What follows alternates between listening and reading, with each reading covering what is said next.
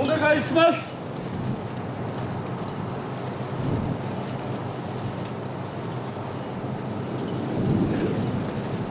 お願いします。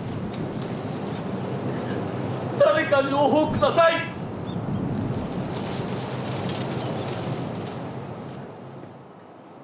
慰霊式典で突然地面に手をつき頭を下げた男性。石川真一さん73歳。娘は10年前笹子トンネルで起きた崩落事故に巻き込まれ28歳の若さで亡くなりました。事故で死んだとは思ってもなくて殺されたと思ってるんですよ。死ななくていい命をどうして奪ったのとその原因はどこにあるかなぜ事故は起きたのかトンネルを管理する中日本高速からは今も納得のいく説明はありません。娘が命を奪われたあの日から両親は問い続けています。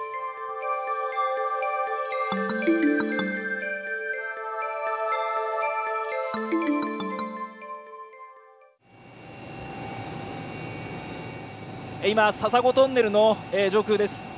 今、トンネル内から黒い煙が上がっているのが見えます。2012年12月2日午前8時3分中央道上りの笹子トンネルで重さおよそ1.2トンのコンクリート製の天井板が連続して崩落しました。天井板はトンネル内を走行していた車3台を直撃し9人が犠牲になりました。こちらが実際に落下した天井板です。この天井板が長さ130メートル以上にわたって落下しました。事故の凄惨さを物語っています。救出は困難を極めます。発生から9時間以上が経って石川さん夫妻に連絡が入りました。当日の夕方5時半ごろに自宅に私おりましたらあの山梨県警から電話がかかってきました。笹子トンネルっていうのが崩落して、えー、その被害車両にゆりさんが乗ってた可能性があると。本当にこれが本当に心臓が飛び出るほどっていう感じですかね。山梨のその演山症なんですけどそちらにすぐ行きたいという気持ちになりましてで主人に電話をして主人が帰ってき次第夜な夜に、えー、こちらを車で出発しました。娘のゆりさんは都内のシェアハウスで暮らす仲間たちと温泉に行った帰り事故に巻き込まれました。事故から1週間変わり果てた姿の娘と対面しました。亡き娘の身柄をですねあのありのままをこの目の当たりに焼き付けたわけですね。あの5つの真っ黒な塊とこの一部のですね臓器をですねそのまま目の当たりにしてでそれをその棺に収めたっていうですね。これからやっぱり長い戦いが始まるだろうってやっぱり予見されたのでこの悔しさを絶対にもう忘れないぞって言って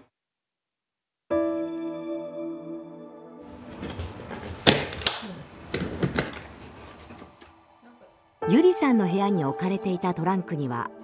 本人が大事にとっていた古い写真や作文などが残されていました。ゆりさんは幼い頃からお花や綺麗なものが大好きだったといいます。これがゆりでこれが長女でこれが三女なんですけどね、まあ、着物は大好きなので成人式の写真これ着物は私のです。多分母が一番喜んだんじゃないかなと思って。嬉しかったですよでも似合ってて。頭では分かっていても心が娘の死を認められない。生きていれば38歳になっていました。で空を見るとユリに見えるんですけど雲を見てユリに見えるんですけどやっぱりウェディング姿のユリがどうしてもなんか浮かんできてはなんか涙が出ちゃうっていう感じでこの10年間過ごしてきましたね。もうだって穴が開いたままですもん心に。もう取り返しがつかない。その責任をどうして取ってくれるんですか？お金じゃないですよ。できることは態度なんです。それは本当のことを述べるっていうことが私たちに対する借財であり本当の意味での心私たちが和む落ち着く理解する腑に落ちるそういうことが可能になってくると思います。なぜ事故は起きたのか。事故後管理していた中日本高速道路の責任を問う声が高まります。国の事故調査委員会は事故の翌年設計や施工不良不十分な維持管理体制などさまざまな要因が重なった可能性があるとする報告書を提出しました。報告書では落下した天井板のボルト付近はおよそ12年間にわたって打音検査などの詳細な点検が行われていなかったと指摘しました。さらに遺族が起こした民事裁判では2000年の点検でボルトの緩みなどが見つかっていたにもかかわらず適切な処置を行っていなかったと認め事故は予見できた。注意義務を怠ったと中日本高速側に過失があったと結論付け4億円以上の賠償を命じました。なぜ危険な天井板を放置していたのか。なぜ詳細な点検を行ってこなかったのか。人の命を守る安全管理体制に問題はなかったのか。石川さん夫妻はこれまで120回にわたって中日本高速と面会を重ねなぜあってはならない事故が起きてしまったのかを問い続けてきました。しかしいまだに納得する答えは聞けていません。怠慢なくですねやるべきことをやってさえいてくれれば絶対に落ちてなかったなかったに違いないとも確信してますのでそれがなぜ落ちてしまったかというですねその真相をとにかく述べていただきたいと思ってこの10年活動あるいは発言してきたわけですね。ただまあ10年経ってもあのなかなかねあのそういうその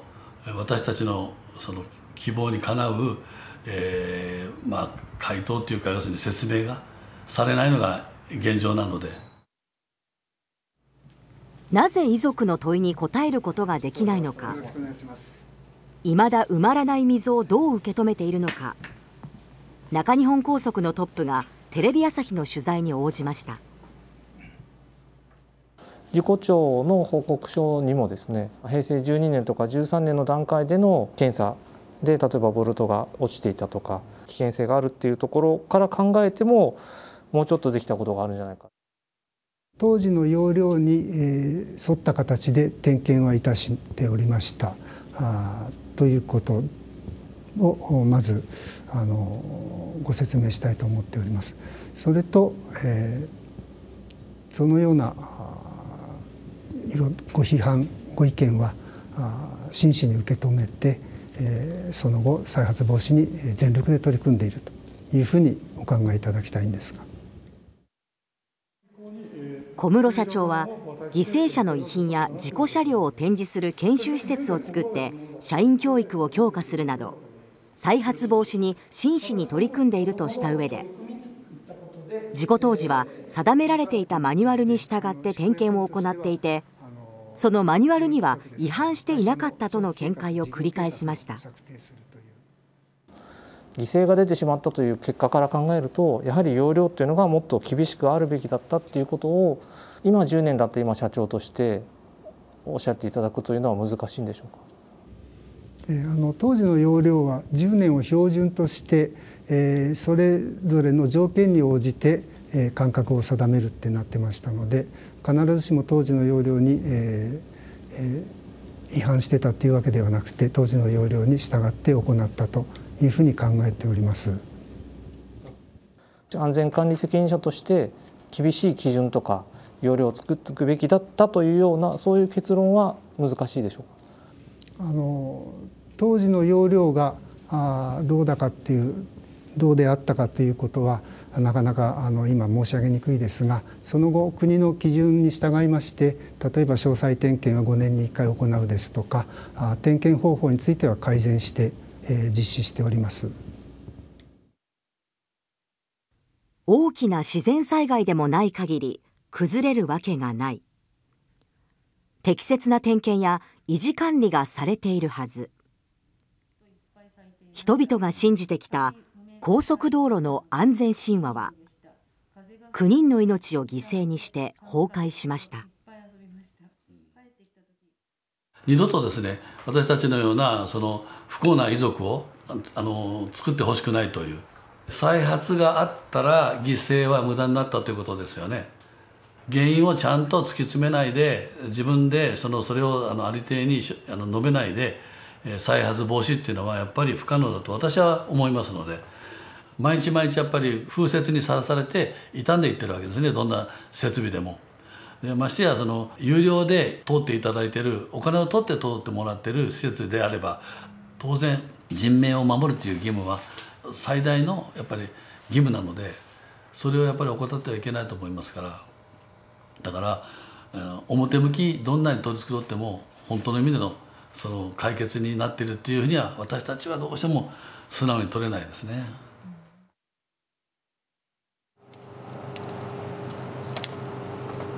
事故から10年のこの日新型コロナの影響で中止されていた遺族による追悼の言葉が述べられました。会場には中日本高速の役員らも参列しました。天井板の危険性に気づくことができなかったのか事故を食い止める方法は何かなかったのか何度も何度も思いあぐねる10年でした。10年経っても解消されない。なぜ？娘の命を無駄にはできない。その思いがあふれました。なんで死んじゃったんだよ。誰に殺されたんだよ死ななくてよかったはずだよね。やることさえやっていれば。私はそう固く信じています。あなたたちはもう声を発することができません。だからこそ私はあなたたちの代わりに声を発します。どうして誰も良心と勇気を持って私たちに情報を提供していただけないんでしょうか。もう裁判は終わっています。私たちはあなたたちを責める気はさらさらありません。しかしながら尊い私たちの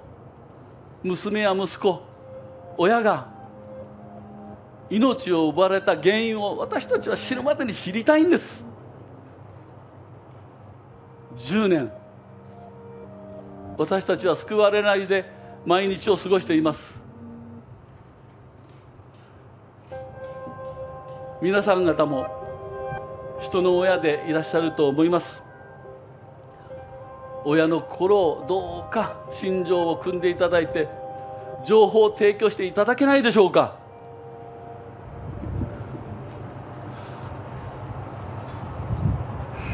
お願いします。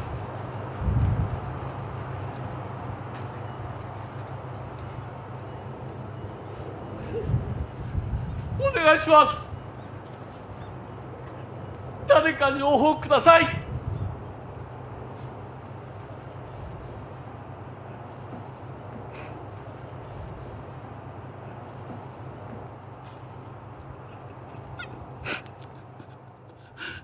君たちの代わりにこれだけのことを言っても通じないのかな？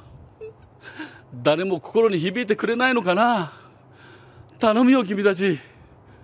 力を貸してくれよ。